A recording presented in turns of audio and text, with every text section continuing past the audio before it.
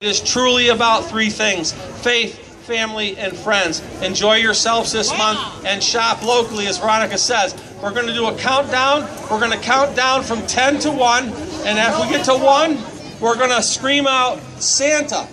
What are we going to scream? Santa! You guys need to count with me. We're going to count down from 10. 10 and 10. 9.